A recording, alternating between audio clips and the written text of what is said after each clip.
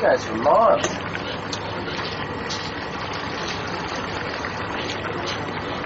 Smell that.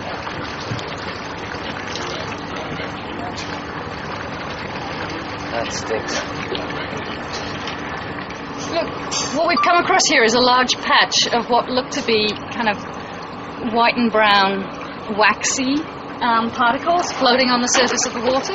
If you look at them closely, a lot of them seem to be leaving oily streaks behind them. Um, we're trying to sample them. When you actually rub them between your fingers, um, you get a sort of an oily, almost sort of Vaseline I'll be suing the Australian. If, if I get, if I get, I can tell you now, if I get sunburn, I'm going to sue the Australian newspaper.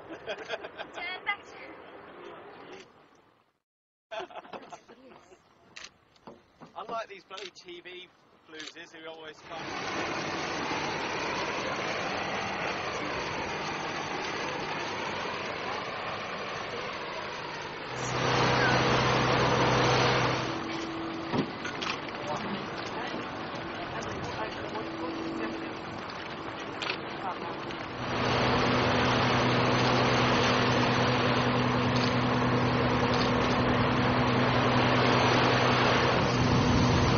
They've got to be. They've got to be. I this.